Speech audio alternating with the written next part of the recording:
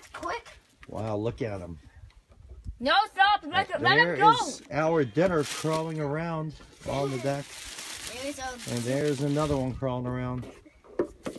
Oh my goodness. His, his hand already got hurt. Oh no. Oh, bruised badly. Not bruised, cut. But remember, lobsters are territorial. What do you mean? They don't like messing with each other. Yeah, they don't like being close to each other.